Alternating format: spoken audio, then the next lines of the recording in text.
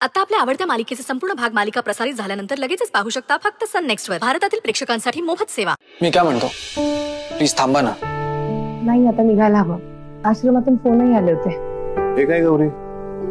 निघालीस? जेवून जा. नाही राजन सर. येते.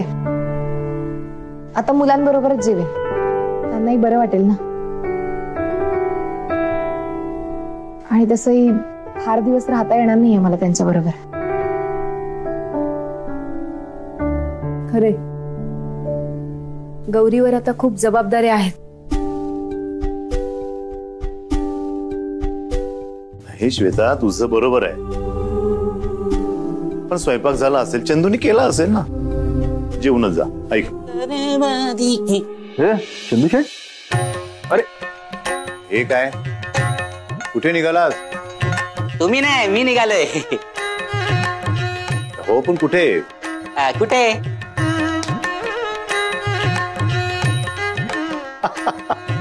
तर ते आम्हाला कसं माहित असणार आहे? नाही मला माहित असणार ना. मला माहित असणार म्हणजे आता मी असा आलो. बाहेर नंदाई भेटल्या नंदाई बोलल्या की अ, साखरपुड्याची तयारी कर जा. मग मी निघालो. पण मी कुठे निघालो ते आठवत नाही. चंदूशेठ आमच्याकडे येत आहे ना मदतीला बिट्टी बिट्टी बघितलं? माझी नात कसली हुशार आहे. बरोबर ओळखलं तिने. साहेब मी जाऊ का? माझ्या लेकीचा साखरपुडा अहो खूप तयारी आहेत. अ, म्हणजे माळा लावायच्या आहेत तोरण कंदील कंदील कंदील वरून आठवलं. गौरी कंदील मी आणि बिट्टी करणार हा? हा? फटाके पण लावा. हा फटाके पण लावणार. मोठे फटाके. चंदू शेठ दिवाळी नाहीये. साखरपुडा आहे. हो काय? अ, विसरलो. मला वाटलं दिवाळीच आहे. अहो दिवाळीच तर आहे. कित्येक दिवसानंतर असा आनंदाचा दिवस आलाय.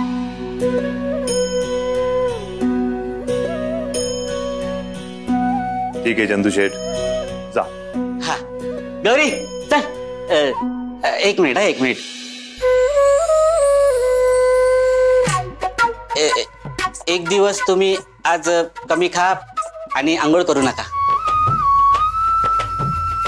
काय? हे काय नवीन आता? ते आता मी नसणार ना.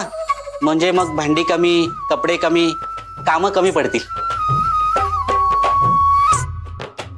चंदू दादा, तुम्हें निवांत जा तिथली कामं करा. हो इथली काम करा सगळे आहोत ना? हो, इथली काळजी करू नका. मी